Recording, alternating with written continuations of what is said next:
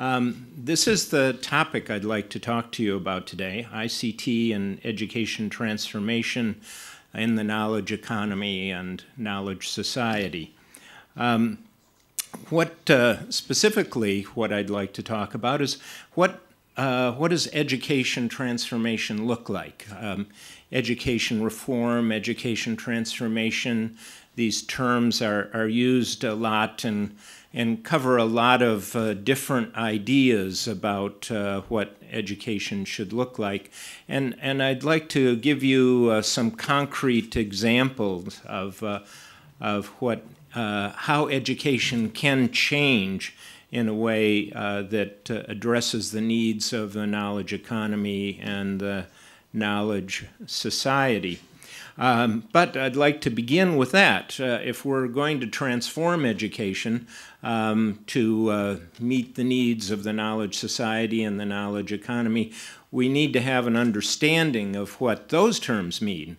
Uh, so, what, uh, what is a knowledge society and what is a knowledge economy? So, I'd like to talk to you uh, briefly about uh, those terms as well. Now, I understand that some, uh, although not all of you, um, have uh, had uh, access to a background paper uh, for today's sessions.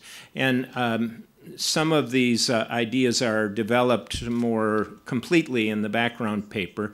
So I- am going to uh, just cover them rather lightly to make sure that the people who didn't have access to the paper um, will understand the context for, uh, for the discussion today. Uh, but I'm going to focus and elaborate, uh, extend the paper, and really talk more about uh, education transformation and how ICT can be used to transform education.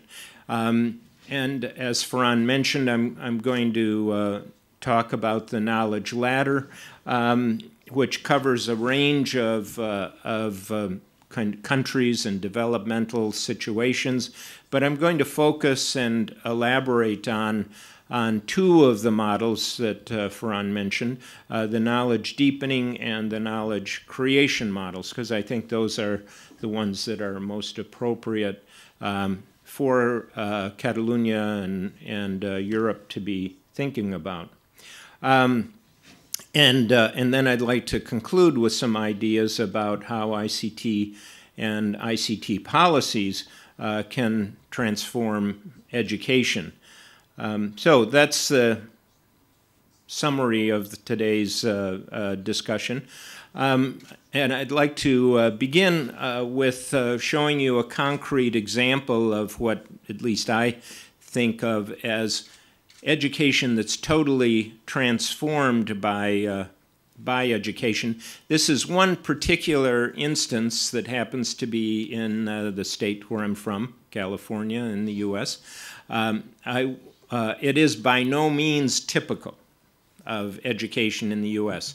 Um, in fact, I think we have very serious problems with uh, education in the US, uh, and um, sometimes I feel we're actually going backwards.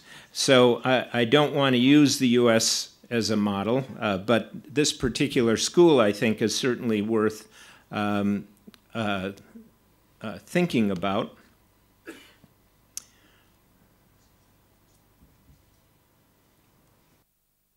And uh, we can then begin our, our discussions based on this example. In this converted Navy facility near the San Diego airport, thoughtfully applied technology is transforming public education. We're going to want to focus on the advertising throughout the school. Oh. They're doing things, they're producing things. So the purpose of tech in high tech high is not for consumption, it's for production. A former high school carpentry teacher with a law degree, Larry Rosenstock became founding principal and CEO of High Tech High in 1998. I tell our visitors who come here stop any child that you want grades 6 through 12 at random and ask them what they're working on yeah. and watch what happens. They'll look you in the eye and they'll talk to you about what they're working on. So what we're going to do in this class is we're going to make a, a movie or like a documentary on everything we learned. So we're learning about physiology, but we're also learning about like After Effects, which makes like videos and stuff. So bring them together. High Tech's 2,500 students gain entrance by lottery and represent a cross section of San Diego's public school population. Okay, trace it out. And whether they choose to focus on the arts or sciences, all of them are engaged in rigorous projects. And one thing we want to be careful of is that we don't add your DNA to these samples and you come out in the end with your DNA barcode. In an 11th grade biology class, students are developing a DNA barcoding process that will help African law enforcement officials convict poachers. These are photos that I got last week from one of our collaborators in Nairobi. This is in Eland. I know everyone's really serious about it because it's a serious issue, but this is really a lot more fun than you'd be able to do in any other classroom. A lot of people donate stuff. Right, just because looks we're our nonprofit. Right, right. Whenever possible, projects are designed to serve the local community, whether it's creating a storage system for the YMCA. We have a new storage facility. then Right. We could actually take this out. Right. or designing an assistive technology device. She used it for the first time and moved that bar up and down the paper for the first time herself. Her eyes just lit up. It was the first time she'd been able to do something on her own. And it was just, the, the students were tremendously touched. I was touched. It was just a really amazing experience. What's going on here? That's a fat that builds up. Instead of grades on high stakes tests at the end of the year, students are assessed on an ongoing basis. Assessment is not an end point, it's not an end activity, it's something that goes on moment to moment. So teachers are always checking for kids' understanding and so forth, and we're always asking kids to, in a lot of different contexts, to kind of describe what it is they're working on, what is they've discovered, what their plan is for the next day, and so on. So assessment is folded in. Good work, guys. All right, thanks. They are also judged on their individual digital portfolios and their stand and deliver presentations of learning. I'll start this presentation of learning today with math and physics, followed by Spanish 1, and finishing off with humanities. Instead of taking finals at our school, we do POLs, which is a presentation of learning, where we get up in front of the whole class and, and the teachers and a whole panel of people and tell them exactly like what we learned this year, how it can be applied to the real life, and how you've developed in critical thinking or developed in other things. Students are also assessed on their contributions to group projects, like books on the ecology of San Diego Bay. These are really high quality efforts by kids as opposed to memorizing 3,000 biology words to prepare for the AP exam. We want kids behaving like scientists and behaving like photographers and behaving like graphic artists. The high-tech model is working. Point one, which is, is outlined. The original high school has grown into a network of eight public charter schools. And maybe you could put that same kind of text here, here, and there. And 100% of high-tech high graduates are accepted to college. I really believe in this place. I, I, I've been here since the beginning, and I think it's it, it is absolutely the true way to learn. And the brown is fine in the background? Yeah, the brown is fine as long as you put those words in. Okay, thank you. Okay. For more information on what works in public education, go to edutopia.org.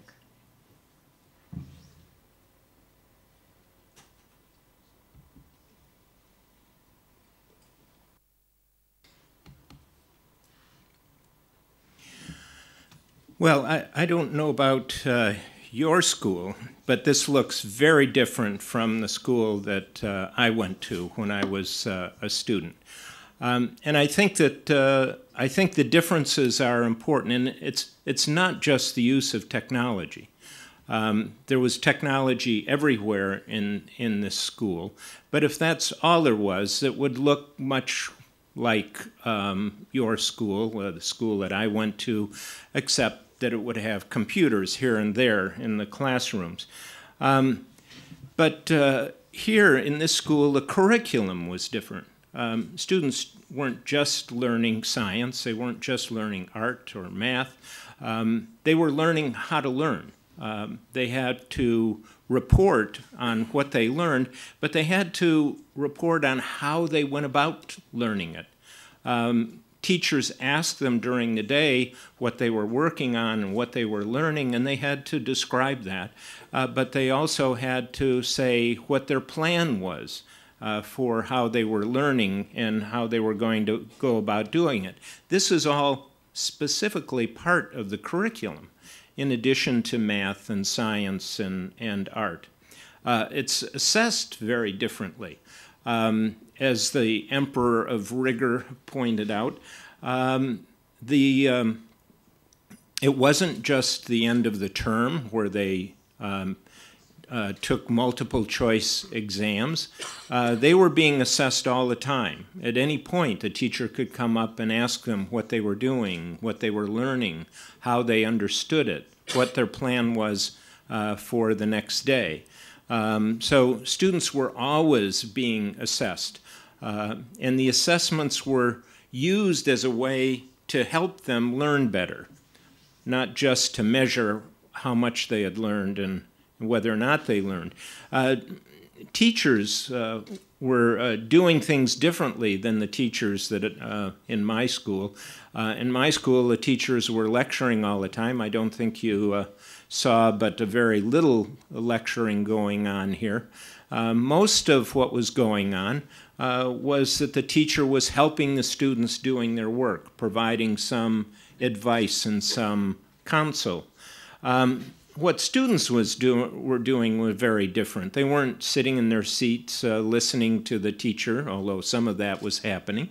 Um, they were uh, working on projects, uh, and these projects were connected to the real world. Uh, projects in collaboration with uh, game wardens in Africa or um, community organizers. So there was a connection between what students were learning uh, in school and how it could be applied to make life better for other people.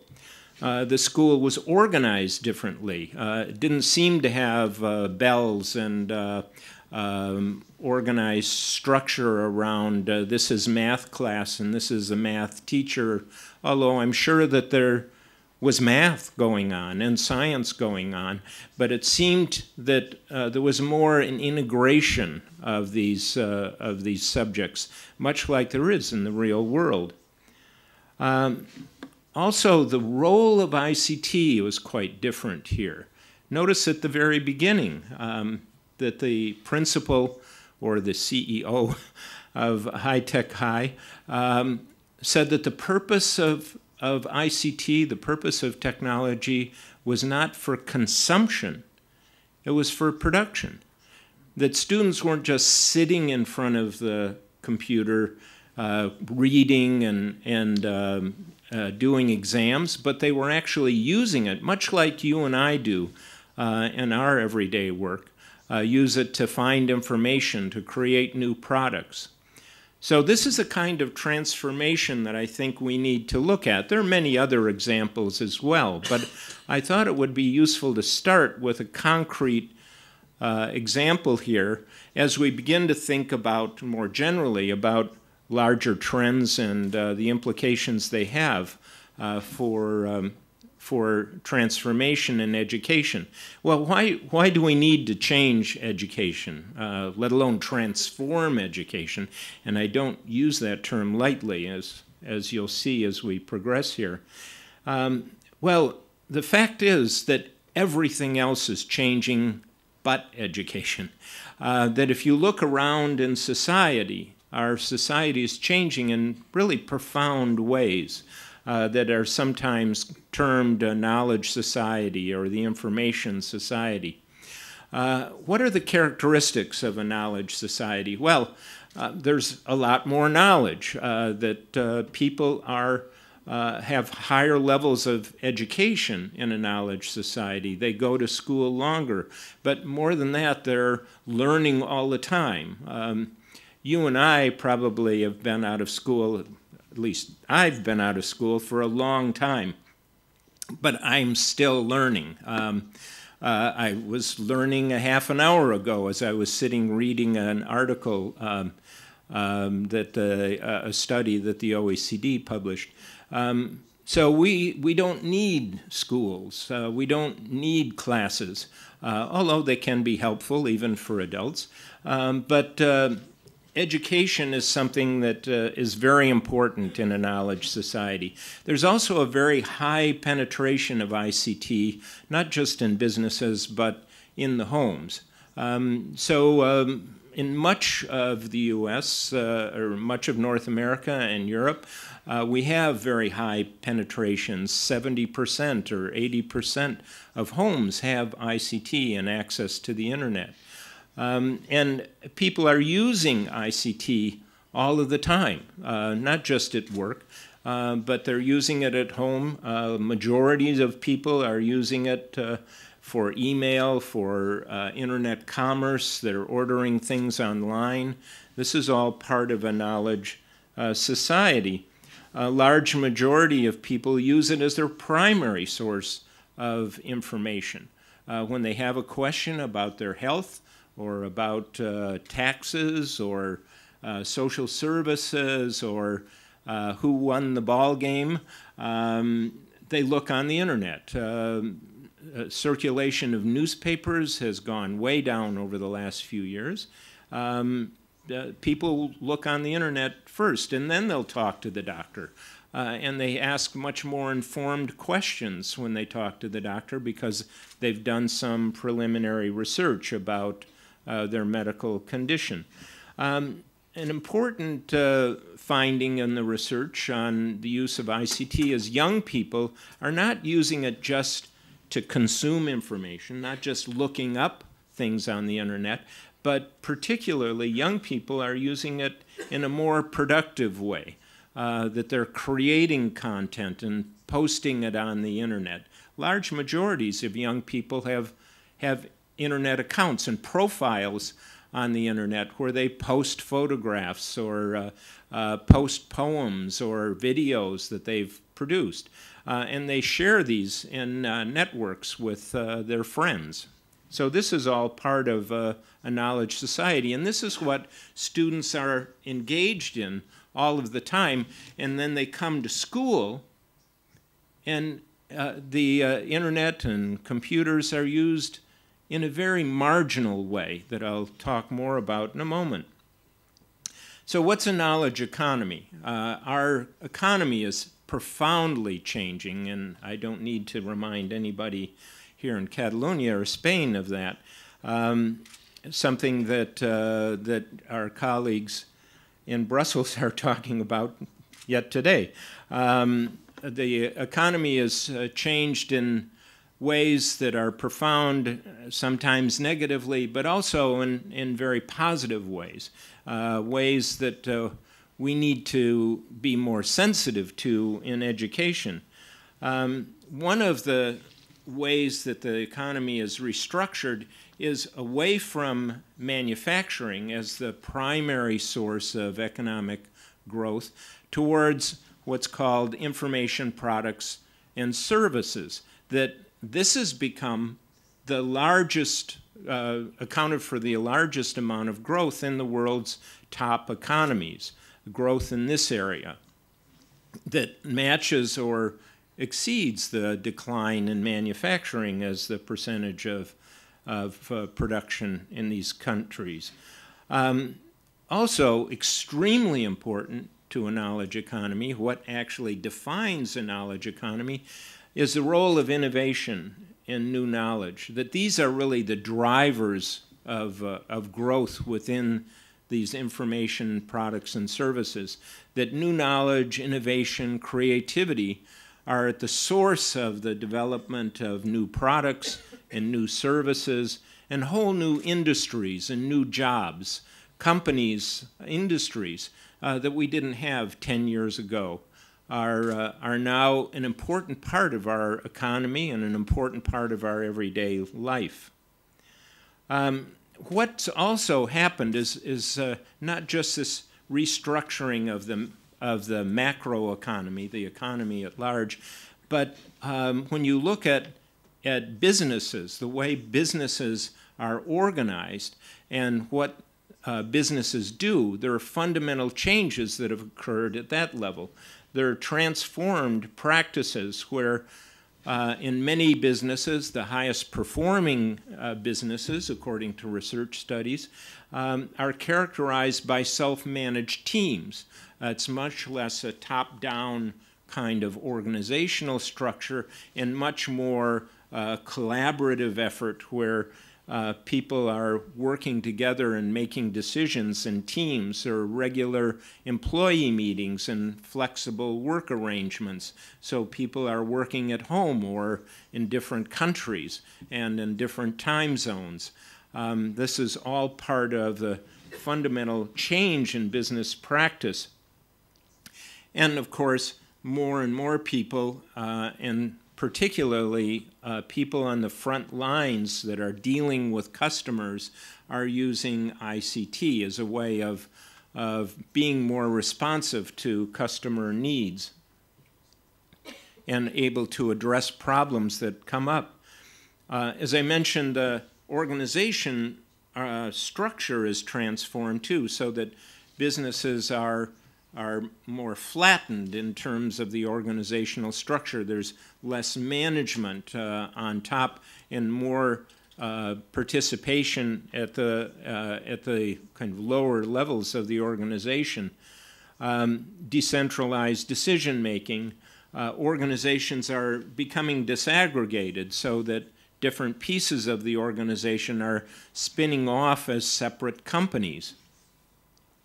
Uh, there's outsourcing and offshoring uh, and cross-organizational collaboration uh, where groups of people are coming together around a specific project.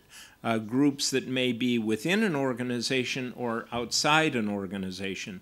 And for this project, they may be collaborators. For another project, they may be competitors.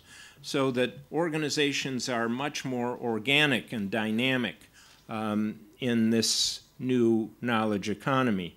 Many of these transformations are enabled by ICT um, because ICT is, is being used to connect distributed teams of employees within organizations and across organizations, between organizations, um, to coordinate partners and suppliers uh, so that different companies who are working on different pieces of the project can have all of those come together and fit together seamlessly at the appropriate time.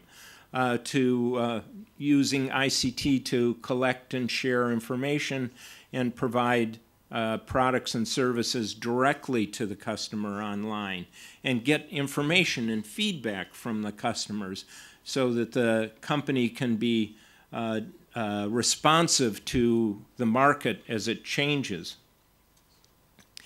It's also important, and I think uh, particularly uh, for us, uh, for educators, to realize that these changes have profound implications for the kinds of skills that people need coming into the knowledge economy. Um, there have been many, many studies within uh, within um, companies and uh, in uh, both in North America and in Europe that have looked at the changes that are occurring uh, in the responsibilities that people have uh, and the kinds of jobs that are available. Um, one of the major changes, and this isn't uh, a surprise to anybody in this room, that there's a less less of a demand for manual skills. Uh, that uh, these skill, these uh, um, jobs are being taken over by robots and uh, automated assembly lines. Um, uh, products that used to require many, many people in order to put them to uh, put products together are now being assembled by by robots. But it's just it's not just the physical tasks that are being replaced, but also routine cognitive tasks. So you see far fewer bank tellers. Uh, you see more and more self-checkouts at uh, grocery stores and department stores, reducing the number of people who have to um, who have to uh, who are clerks that fill out forms or uh, or uh, respond to simple uh, tasks. Um, there's more and more demand this is where the job growth is, more and more demand for advanced cognitive skills, uh, such as problem solving and communication and team skills, so that uh, jobs are changing in a fundamental way. uh, tasks within jobs are changing so that even people who have the same job are doing less of the simple tasks and more of the complex tasks. Uh, and where ICT is substituting uh, for simple tasks, it's augmenting complex tasks. So professionals like doctors and lawyers or professors or researchers uh, now uh, can only do their work because they have access to very powerful tools that help them find exactly the information they need or help them analyze data or visualize data in ways that would have been very difficult, if not impossible, for them to do uh, previously. So now people who are engaged in very complex uh, skills are, are having those skills augmented and facilitated by the use of ICT. Uh, these trans, oops, I've already done this one. Um, how is I, uh, um, it's important, though, to realize that uh, ICT in studies that look at the impact of ICT, uh, they found that uh, the mere introduction of ICT into uh, business did not have an impact. That is, for many, many years, there was zero relationship between the introduction of ICT and increases in productivity, either at a macro level or at a firm level.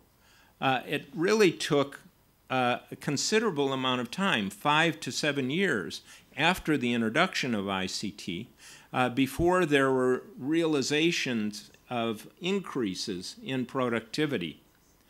And the reason for that is that it took a while for all of these other changes to happen uh, that were facilitated, enabled by ICT. So it wasn't just the introduction of ICT, it was the use of ICT to make all of these other changes that I mentioned.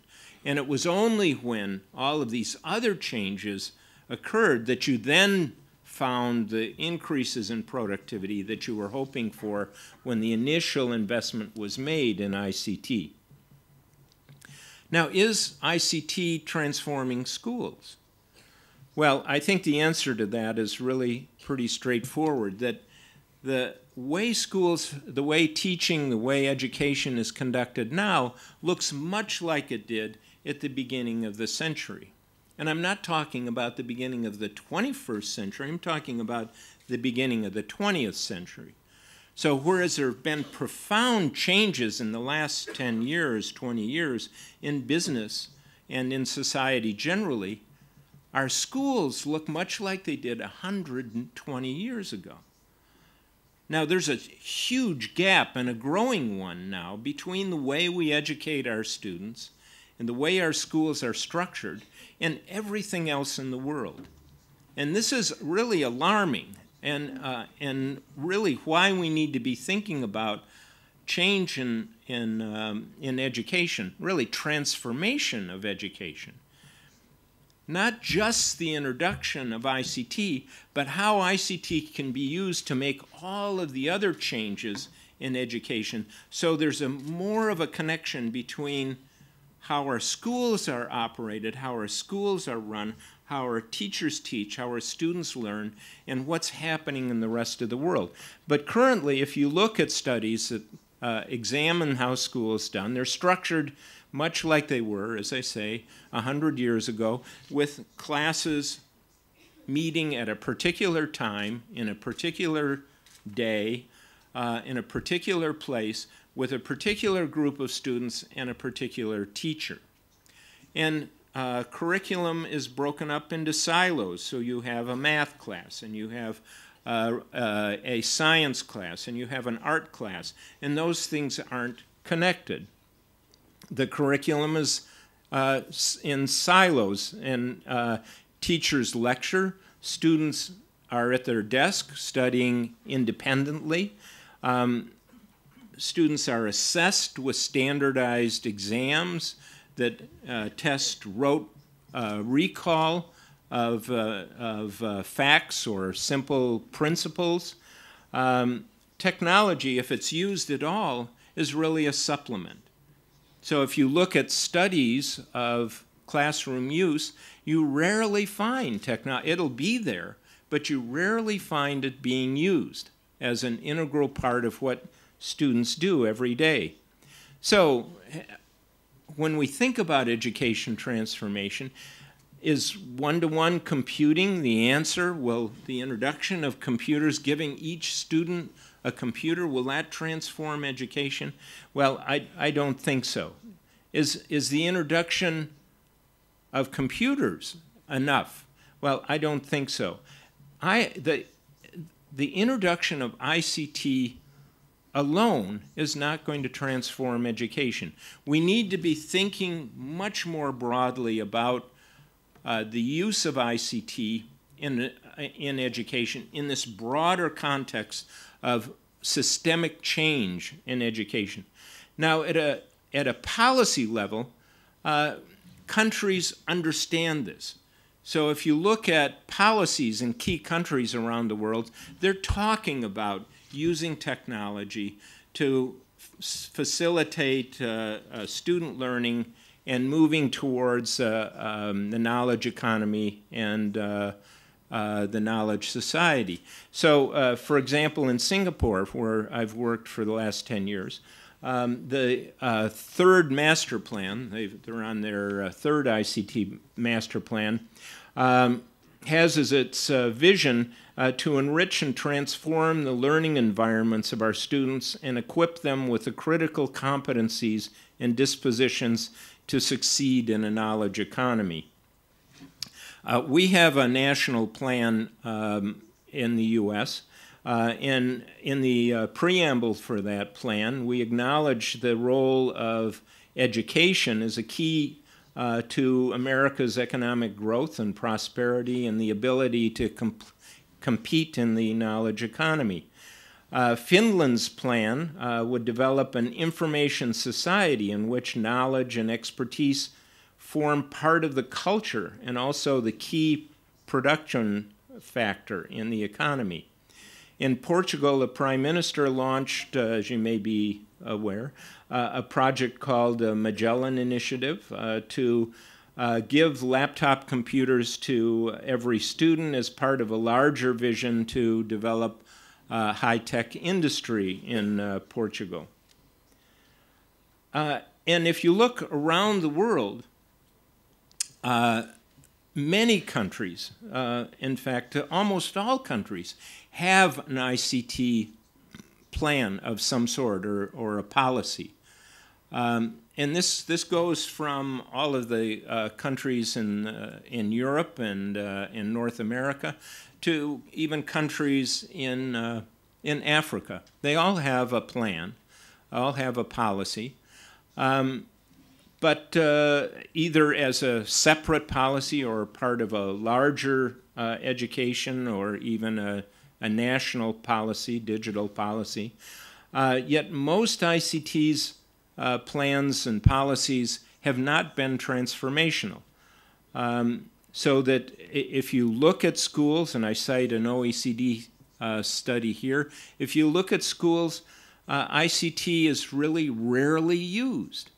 Um, that you ask uh, students, you ask teachers, 25% um, uh, uh, of the teachers or students use ICT on a regular basis. So in the majority of schools around the world, including here in Europe, ICT is in the classroom, but it's still not a major part of educational practice. So why hasn't ICT and ICT policies been transformational? Well, there are a number of reasons. Uh, one is that they're not really policies, but more projects or initiatives. It's kind of policies and bits and pieces. So it's not coherent, it's not coordinated. Um, it's a, it's a one laptop project or it's a, a uh, pilot project uh, in uh, certain schools in different regions of the country, rather than an integrated, coherent policy or vision for how it is ICT is going to change education. Uh, another reason why it doesn't work is that, well, every four years the government changes, and of course the new government wants a different policy. So teachers are confronted with, well, should I bother spending the time making changes in my classroom when this government is just going to be replaced by another government and there's going to be a whole nother policy? So um, why should I invest my time in making changes when it's all going to change again in the future.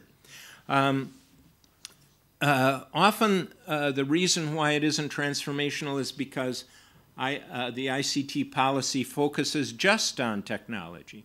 It doesn't really address uh, teacher skills, it doesn't really address the curriculum or assessment. And, and when teachers are confronted by uh, a uh, conflict between the use of technology and the fact that on the assessment, students are going to have to uh, use paper and pencil assessments, well, why should I bother having them use technology? Because after all, they aren't going to use technology in the assessment. So, uh, so uh, there's a disconnection between the ICT policy and other kinds of policies that diminish the motivation teachers have for using technology in their classroom. Um, often ICT is a, a short-term strategy that doesn't have a long-term vision. Uh, as I mentioned, uh, in Singapore, they're on their third ICT plan.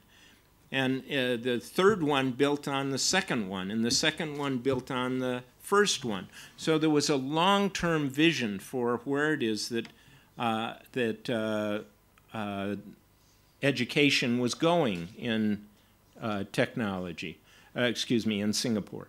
Um, uh, often the ICT policy is organizationally isolated, that uh, the ICT department develops the ICT plan, uh, but they don't talk to the assessment department, they don't talk to the curriculum department, they don't talk to the teacher education institutions.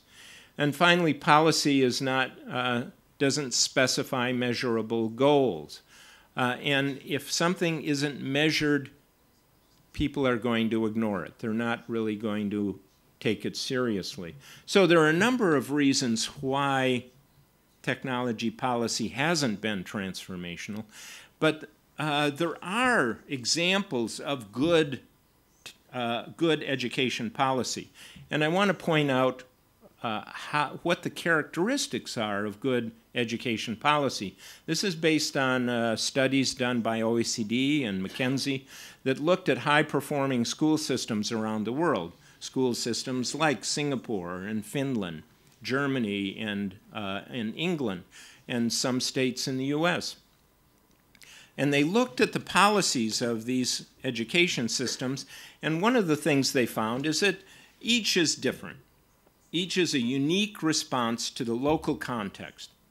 Uh, but there were also some important commonalities, important things that were the same across. One was that there was a commitment to success for all students, that that was an important theme that cut across all of these policies. Uh, that it's just not the elite students, it's all students that need to be performing at a high level. Because with a knowledge economy, what is important productivity factor is human capital. It's not just the material capital. It's that your people are performing at a very high level.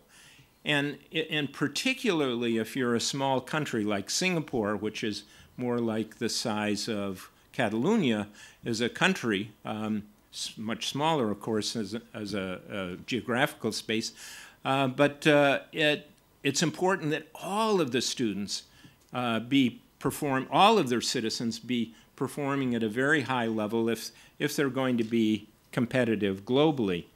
Um, another is high quality of teachers.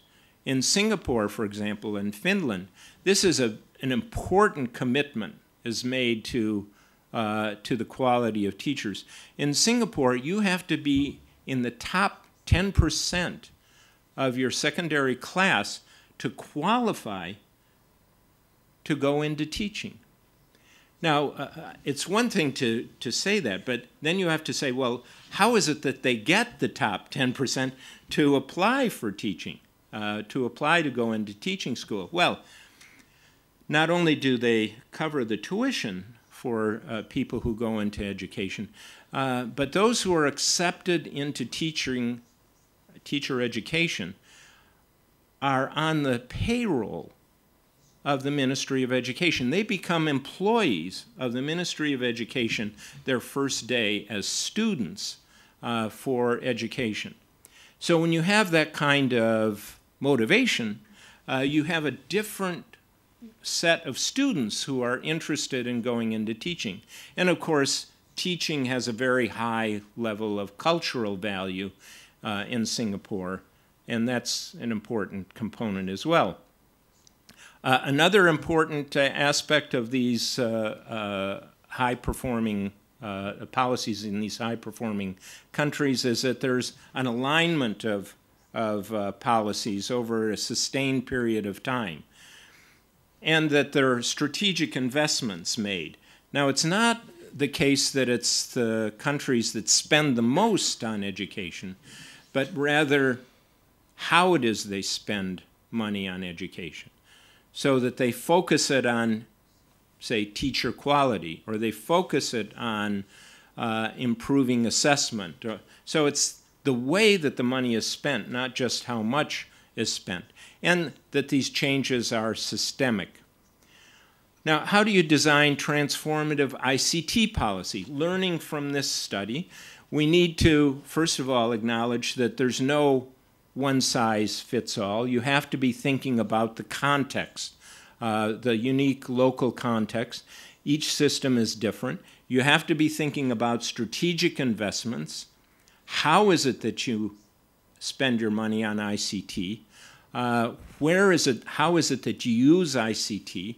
Not just the amount of technology that you purchase, but what are the strategic decisions made in, in how it's going to be used? Teacher is the key. Even in ICT policy, we have to be thinking about teacher rather than technology. We have to be thinking about the teacher first and then how the technology supports teaching coordinate ICT with other components, and to think systemically how all of these components fit together. Now, that's where the knowledge ladder comes in um, that I want to uh, uh, elaborate on. It's a conceptual framework for policy and planning. It's holistic, that is, it looks at all of the components and not just ICT, but all of the components of the education system, and how it is that they can all be aligned and brought together. Um, it's developmental in the sense that it's progressive. Uh, so you can look at um, countries or education systems or even uh, school districts or, or, or individual schools and think about where it is that school is and how it gets from where it is now to where it is that you want it to be in 5, 10, 15 years. Because we're talking about long-term change here. We're not talking about change that happens overnight. We're talking about change that happens in 5, 10 years, 15 years. And we need to have a long-term vision. Um, how uh, you build on current resources to develop additional resources um, and connect these changes to economic and social development. So that's what we try and do with the knowledge ladder. It's a conceptual framework, um, as Fran mentioned, that has four models to it, uh, basic education, uh, knowledge acquisition, knowledge deepening, and knowledge creation. Um, each model has different implications for policy goals, for teaching and learning, for curriculum and assessment, uh, for social organization structure of schools, and specifically for ICT use. So you would use ICT differently in these different models. So it's a way of helping people think about, well, there's not one size fits all. Not everyone is going to use ICT in the same way, but how do we use ICT in different situations yet move towards the same goal of preparing our students for a knowledge economy and a knowledge society. I, am going to talk about the difference in the policy goals uh, of these four models, but then I'm going to focus on the two models, as I mentioned, uh, that are specific, I think, to the Catalonian context, which are knowledge deepening and knowledge creation, more like that example that we looked at at the beginning. Now, basic education, uh, the goal here is to increase workforce participation, improve basic health and welfare. This is really the model that you would be thinking of for sub-Saharan Africa. It's really the Millennium Development model, if you will, getting more young kids, more primary school kids into classrooms, increasing the participation at the youngest level of uh, uh, in education. So the focus is really more on participation, particularly at the youngest grades. The knowledge acquisition is really more moving a country towards a, a, a developing um, economy, um, particularly a manufacturing-based economy, um, and increasing secondary school participation, uh, and also improving test scores. Um, this is really where most of the world is focused. Uh, unfortunately, I have to say, this is really where the U.S. policy is focused on, on uh, keeping kids in, in uh, high school, uh, increasing the secondary school participation, increasing test scores. But this, I must say, is really a mismatch between our policy thinking and our in the needs in in the US which our knowledge economy needs. We're still thinking in this old model of of a manufacturing economy where you want standardization which is of course the keystone uh, of a of a manufacturing economy. Is it is mass production um, and having everything be the same? That's not the way society is anymore you don't go out and buy the same thing that everybody else has. You want to personalize uh, your life. You want to be distinctive. Uh, you want products, even if it's if it is an iPad that everybody else is buying, you want it to look differently, and you're going to use it in a different way that everybody else has. So the way that it's used needs to be customized to your needs and your interests and your desires rather than standardize things. So what happens with a manufacturing model uh, for the education system, students go into classrooms and they have to learn the way everybody else does, to learn the same thing that everybody else is learning, and they go out in the real world and everything is different. Everyone wants a different thing. Everyone wants their own thing. So the world to them is customized. School is standardized. And, and so no wonder the students perceive a mismatch between schools and the real world. And more and more employees see a mismatch between what it is that we're producing at the end of education and what it is they need. They need creativity.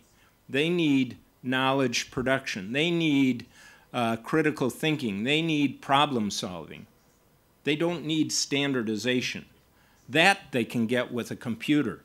They can have the computer handle the standardized tasks. They're looking for innovation. They're looking for creativity, and we're not giving them that. So this is really the purpose of the other two models, the knowledge deepening model and the knowledge creation model. With knowledge deepening, it's still focused on classroom learning, on subject matter learning, but it's approaching it in a different way. It's thinking about subject matter much more deeply. So rather than coverage of a large number of things, it's focusing on the key underlying ideas that really define a discipline.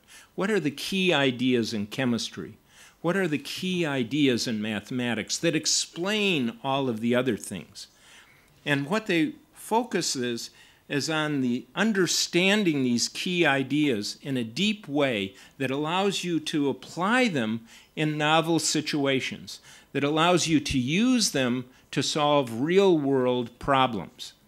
So there's this connection between school subjects and real world situations that you saw in the example that we, uh, the example video a moment ago.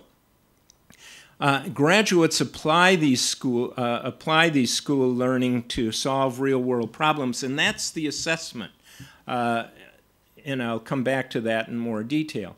Uh, the knowledge creation model, from a policy perspective, is that you're producing students that can compete in the knowledge economy. So this is kind of the end state, if you will. This is really what we're trying to move towards, is creating students who can compete in a knowledge-driven uh, economy and society, and graduates who are creative, innovative, lifelong learners that continue to learn long beyond uh, school and are learning constantly throughout their career and lifetime. Now let me focus a bit more on each of the, on these two um, models from the perspective of each of the components. So for example, in curriculum and assessment, if you look at knowledge deepening, as I mentioned, uh, you're looking at the subject matter, but you're looking at it from the perspective of the key concepts and how it is they're applied in the real world. And it's also important to assess them as they are applied in the real world so that students don't answer just multiple choice questions. Uh, they don't uh, apply simple uh, uh rules or procedures to uh, problems that are already given to them, but they have to analyze complex situations to even figure out what the problem is. And then they have to come up with the approach. Um, and this may, there may be more than one approach. Uh, there may be, quite likely is, more than one approach to uh, answering this problem. And they may think about what are the uh, differences between this approach and that approach, and which is the better of the two approaches. And this becomes part of the assessment. Not just getting the right answer, but how it is they went about solving the answer. And that's the important part of the assessment, what it is that students learn. In knowledge creation, the focus is not just on school subject matter, but on these transversal processes that cut across subject areas like creativity and problem solving and uh, creating new product, knowledge products. Um, and notice here the, the changes in assessment is that the, uh, students are assessed by a community of users, um, much like you and I are, or our businesses. Um, they're assessed by going out and trying to sell their product to uh, satisfied customers creating a market base of satisfied customers who then go out and sell the product for them. So there's uh, multiple ways of assessing student learning, not just the teacher uh, who says that the student has something right or wrong. If you look at teaching and learning and how it is that we need to uh, change in order to uh, address these new skills and new content, um, teachers need to know the subject matter deeply uh, because they need to help students understand it deeply. But they also need to have deep pedagogical expertise. They need to know how, how students are misunderstanding the concept and what the typical kinds of errors in thinking are. So they need to have pedagogical expertise that would allow them to understand where students are going wrong and how it is that they can improve, uh, improve the instruction so that students can learn better. Um, also, students in their learning work in collaborative teams, much like we saw in the video, working on complex real-world problems.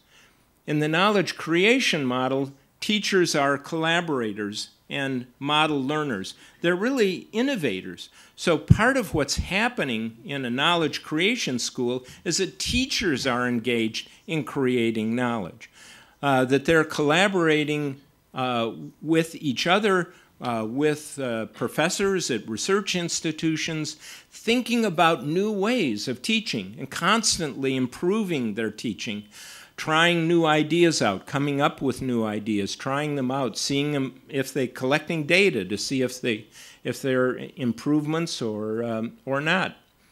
Uh, and students are working in com communities of learners, not just with others in their class, but with uh, older siblings or students in other schools or experts out in the real world.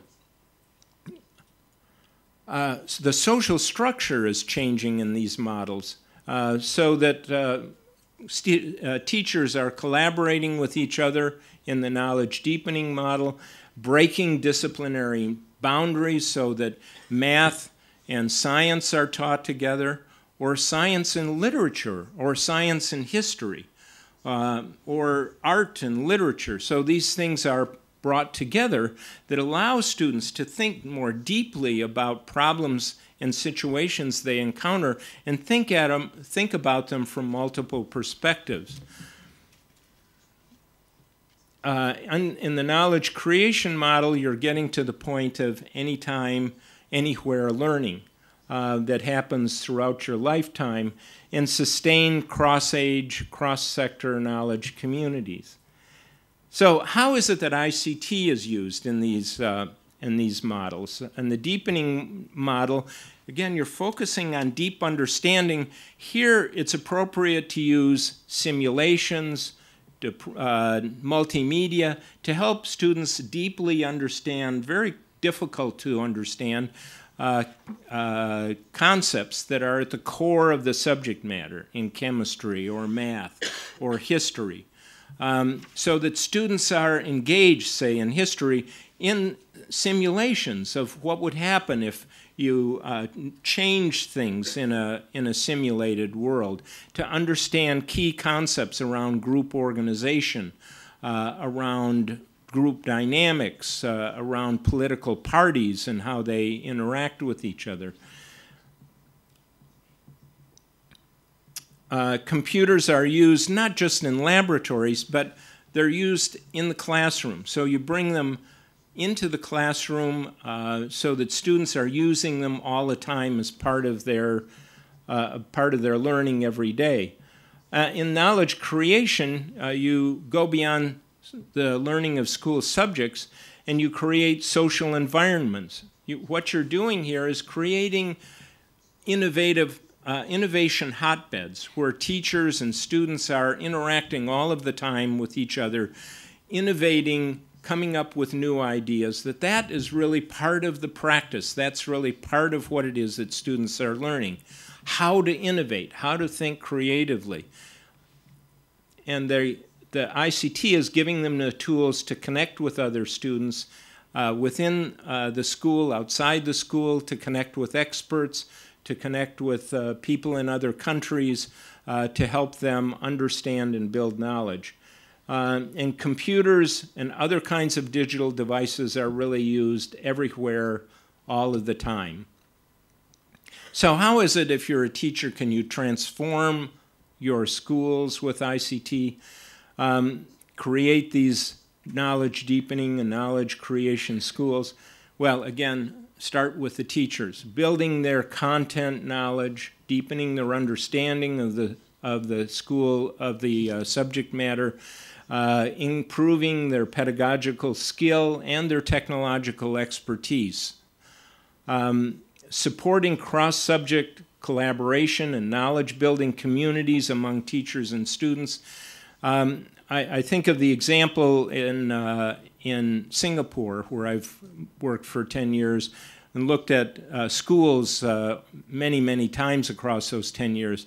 It's just now that I'm seeing uh, profound change, systemic change in schools, in part because teachers are now forming innovative committees.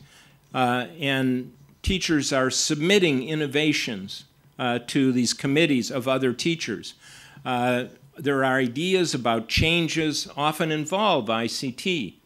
And they submit these proposals with a request for resources, uh, and teachers review these ideas and comment on them and make suggestions for improvements. Uh, and they learn from each other about uh, innovations that they come up with. And it's really when you have this innovation going on, often facilitated by ICT, uh, that you really see sub substantial changes in schools, supported by ICT and uh, uh, rich content, uh, real world projects, and encouraging teachers to embed ICT throughout the curriculum. If you're a policymaker, how do you think about ICT uh, in, as a lever for change? Well, you begin with a vision, what it is that you want education to look like five years from now, 10 years from now, 15 years from now, enriched by technology that enables schools to change. Uh, creating a long-term trajectory, five years at a time, how, how schools are going to look five years from now and subsequently, moving towards this long-term vision.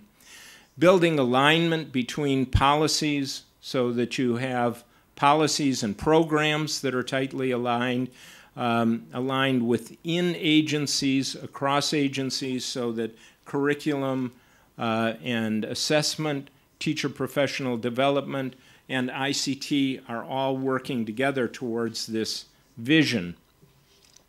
Implementing the vision, evaluating it, revising it, uh, that's all an important part of this. Having measurable goals and looking at progress towards those goals.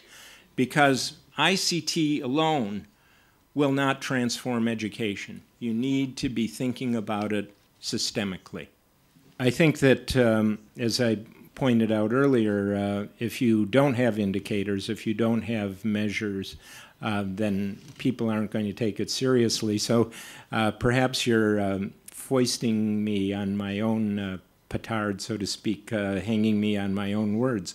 Um, but I think that uh, I think that that is an important um, element of this, is to uh, think systemically about okay, if we're going in this direction, what what would that look like? And and I think that um, uh, part of what that does is is take this kind of conceptual framework and then begin to uh, overlay it on uh, on um, real world practice, um, much as we saw uh, here in this video. Um, uh, because uh, you know, I think we can kind of come up perhaps with some indicators from uh, our own thinking, um, but it would be useful to try and identify schools that are, you know, you could classify as knowledge deepening or knowledge creation. Um, and, and that's not to say that these are two separate categories of, uh, of schools, that this is, uh, that these are mutually exclusive, but, but rather this is a, a kind of, uh, the way that I see the knowledge ladder is, is a kind of gradation. Um, so that the that you're moving towards this and you'll see some uh, in some schools you'll see some knowledge deepening practices and some knowledge creation practices. Um, so it's it's not that they're mutually exclusive but I think what would be an interesting challenge in answering your question would be to identify some innovative schools like this and actually do observational studies um, that uh, specify what uh, what teachers are doing, what students are doing, uh, what um, um, what uh, classes look like. It kind of uh, goes back to our SITES Module 2 study, where we went to innovative classroom. This was 10 years ago, so we didn't have a scheme like this to use.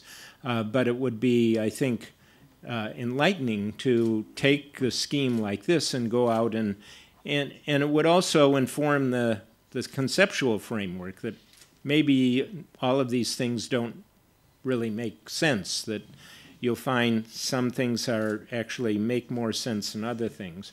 Um, so I think it would be both a, a kind of validation uh, exercise to the for the model as well as uh, empirically deriving uh, some of these indicators.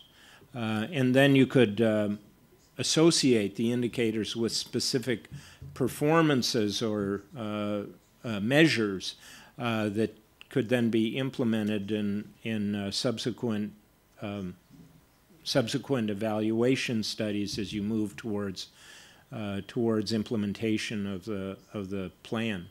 I think that, um, you know, if we're talking about transforming the education system, um, the role of parents is very, very important um, because uh, education can't be transformed without the participation of, uh, of parents. Um, I, I, think one of the most compelling examples of uh, uh using ICT and connecting it to parents is actually one of the cases that we came up with. This is now 10 years ago or more um, here in Catalonia, uh, with the study that we did, uh, the IEA Sites uh, Module 2 study, which actually looked at the use of ICT um, in uh, uh, five rural uh, schools in Catalonia. Um, and um, it's always been one of my favorite cases um, because usually we think of of ICT in this very kind of sophisticated way that uh, is appropriate for secondary school students. But here they were very young students who were going out into the community um, uh, with digital cameras and digital uh, recorders and uh, taking photographs of the town square, interviewing their grandparents, uh, and uh, collecting all kinds of digital multimedia uh, information about their community. Uh, and then they put together uh, a website. Each of these five schools that were all participating in the project, each school had a website that presented the students' work, that represented the community. Um, uh, that the students had produced. And then they had a, a fair where all of the teach, uh, all of the parents came in, and the students presented their work, and the teachers discussed the project. Um, and I think that that kind of collaboration, uh, where uh, parents are involved in the project, where students are going out into the real world uh, and using technology to produce things that are of value to parents and of value to the community, and then having the parents come in and uh, evaluate the quality of the students' work and see how students are learning, that that's the kind of relationship that I think really is, is transformative. It's we very rarely see, and yet it's um, uh, it's a kind of thing that could happen more and more. Ten years ago, of course, there weren't all of these, all of the social networking, uh, which you could you could then see not just the web, but you could see well with all of the social networking, you could involve the teachers in a in an ongoing way in as participants in the schools. And I think this would be reassuring to the parents because uh, it's not just something going on in the school that they are not familiar with and they're worried about, um, but they're participating in and can be reassured by it and see what it is that students are doing and contribute to it. Um, so I, that I think is a kind of model that we would should have in mind in terms of the parent uh, cooperation and collaboration. Well, there are, there are a lot of uh, problems and um, uh, questions uh, uh combined in that uh, uh, in that topic. Um, let me try and and break some of that apart. Um, the problem that you identify reminds me of a of a situation where um, this was in Uganda.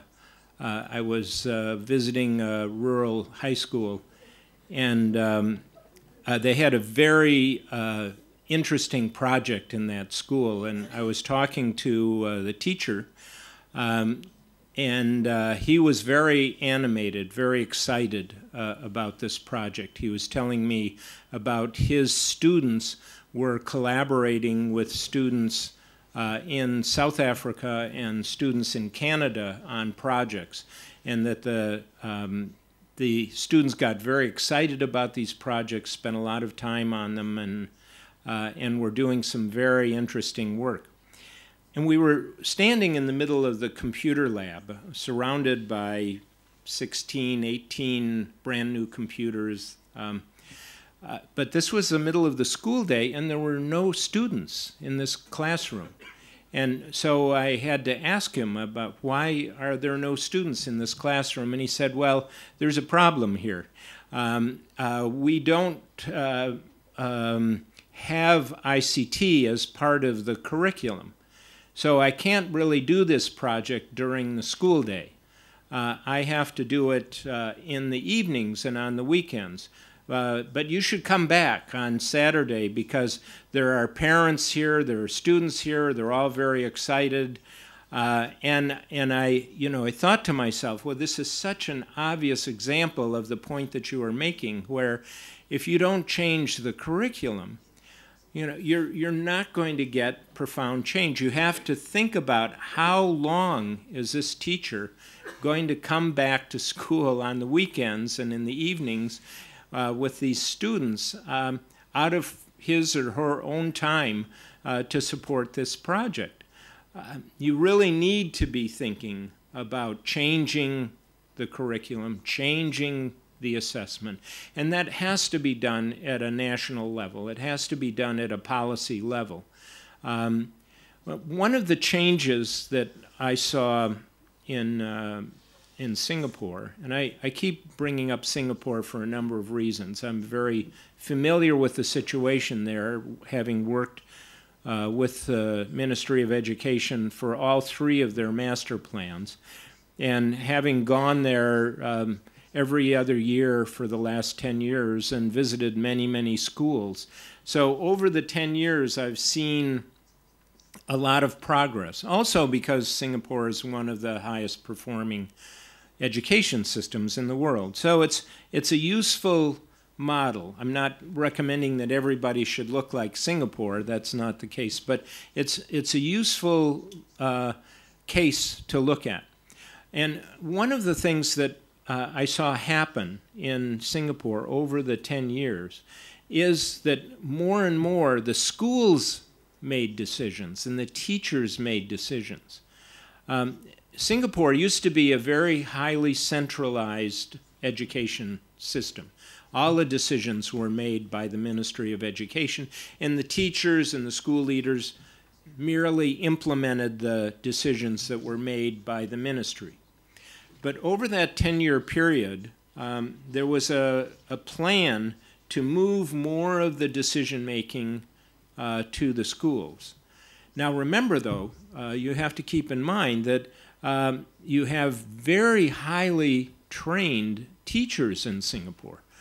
Um, so you, you can't do this overnight. You can't just say, okay, now the teachers are going to make more of the decisions or the school leaders are going to make more of the decisions. There has to be a plan that's a 5, 10, 15 year plan to improve the quality of teachers so they have the skills and they have the confidence of the parents. Um, and during that time, giving, giving the teachers more and more of the responsibility. Uh, so that in Singapore, it moved from um, the Ministry of Education having a master plan, which they still do, uh, to each of the schools has to develop their own ICT plan. Now, it has to reference the master plan. There has to be some connection between the school master plan and the ICT master plan of the, of the ministry. But the teachers have a lot of decisions about how the details of how they're going to implement their uh, technology in their school. And they also have the budget so that more and more the budget was shifted to the schools so that the teachers and the school leaders could make decisions about how to spend the technology money um, and how it the the decisions about how it was going to connect with with their plans for innovation. Now again, remember I mentioned that part of that is that the teachers were coming up with innovations, that that was part of what, what I saw happening in the schools, that they were writing uh, proposals with, of, the, of their ideas for uh, uh, new ways of teaching and using technology. And that proposal would have a budget. And that would be reviewed by the school leader and by other teachers in this innovation committee and they would comment on it and, and help the teacher improve it, and then the best ones would get funded.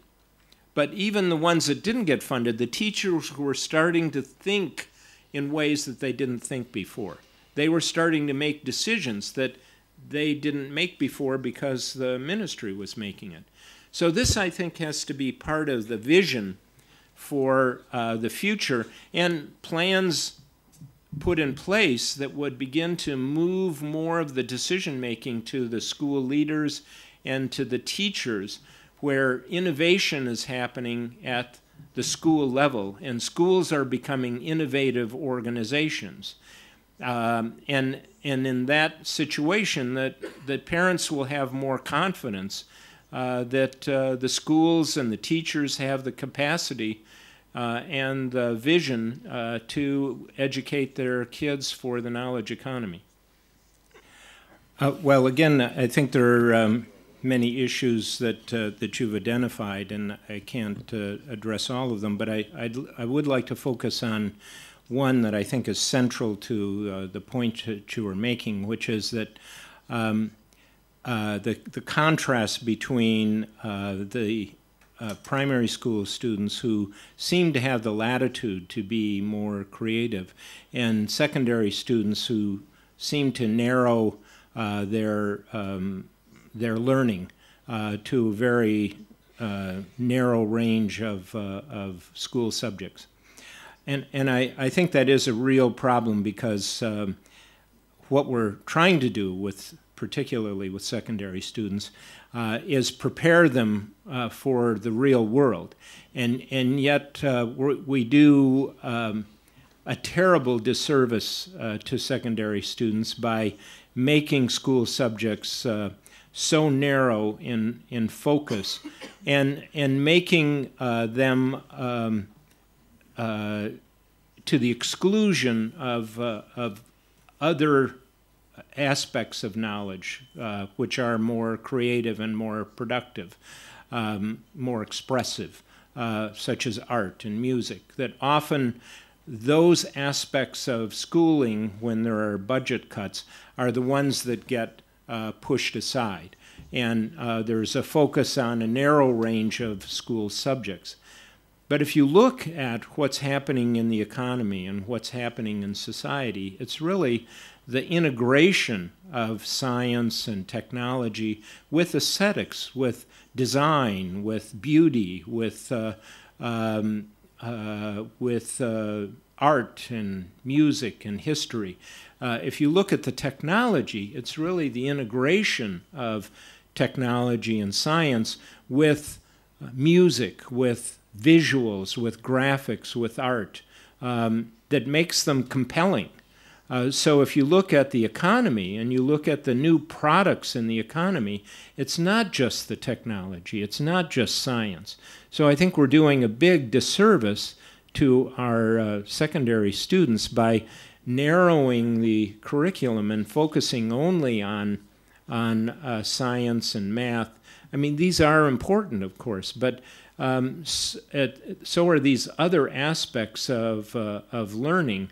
And, and it's when you make the connection between what's going on in school and what's going on in the real world that you realize that you have to make that, um, you have to include those uh, aspects of learning, art and science, connecting art and science, connecting um, literature and music, um, that those are connections that go on in the real world, and uh, students need to have those integrated in um, in uh, secondary school. So I think your point is a very important one, and part of the reason that we need to rethink the curriculum and rethink assessment so that we're not um, just measuring in a very standard way the learning of a small set of, of, uh, of knowledge, uh, but thinking broadly about what it is that education is and how it